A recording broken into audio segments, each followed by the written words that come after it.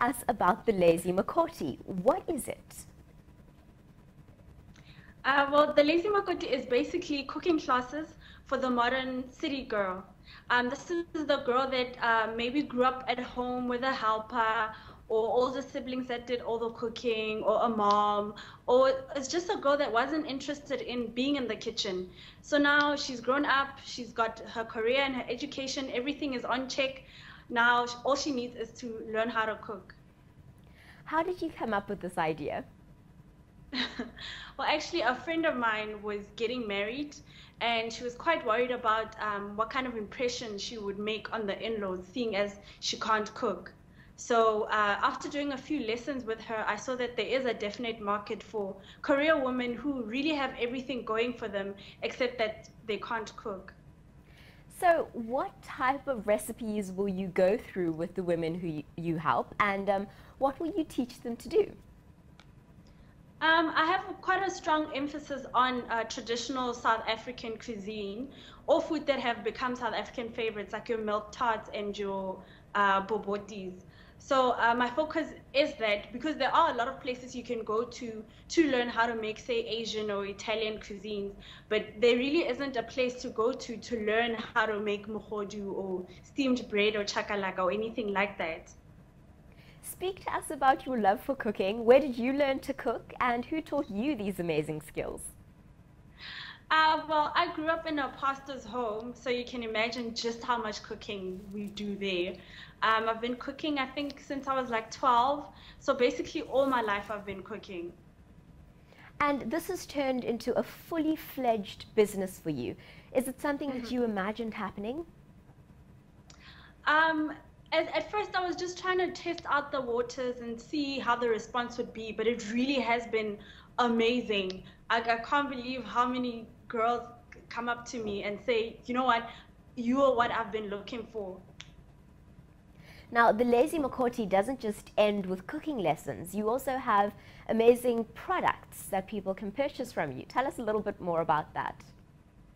Yes, um, I have different kinds of aprons, full and half aprons. Um, I have chopping boards, um, wooden spoons, and just uh, basically kitchen and cooking accessories.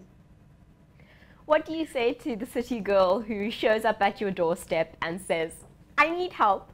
but this all just seems too daunting to me.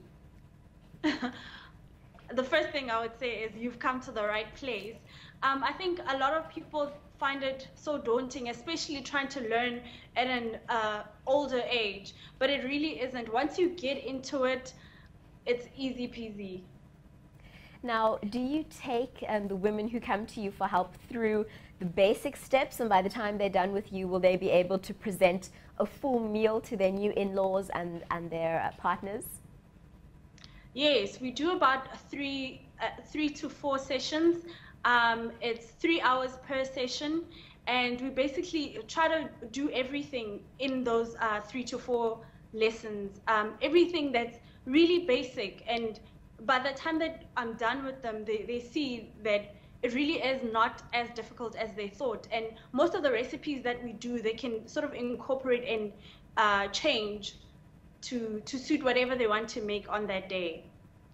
Tell us, where do you operate from? And if somebody is watching this thinking, I need those cooking lessons, where can they find you? Uh, well, right now, I'm still just doing house calls. So you would uh, book a session on my email address, info at thelazymakoti.com. And then in the comfort of your own home, I would come help you with the cooking classes. But I'm looking to set up premises where people can, can come. Is this something that is simply geared towards women who are getting married who need to learn to cook? Or are you open to teaching um, different types of women or even men how to, how to improve their culinary skills? Well, when it started out, yes, my focus was uh, the women that were getting married and that had the immediate need to learn how to cook. But I'm, I really am open to any girl who is looking to just learn how to cook for herself or for whoever.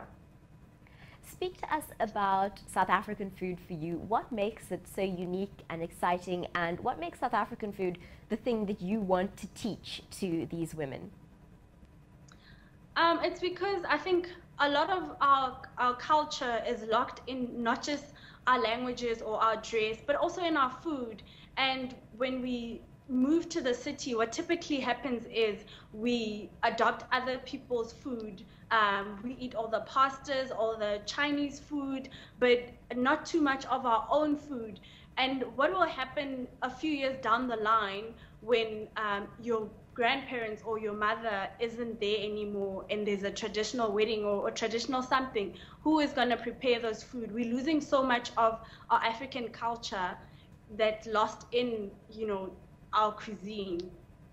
So that's something that's really important to me to um, to uh, pass on, I guess, the knowledge of how to cook our food.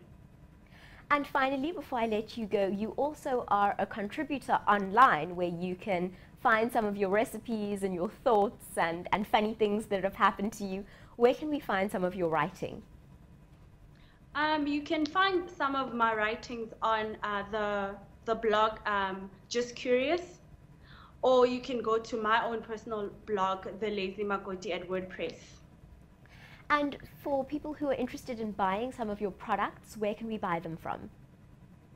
Um, they can also buy from my on my email address. They can just um, pop me an email and I'll send them through the, the catalog, info at thelazymakoti.com.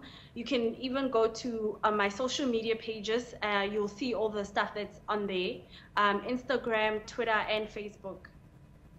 We're so grateful that you took the time to chat to us today. Congratulations on this amazing business, and we really hope to hear from you soon. Thank you so very much for having me.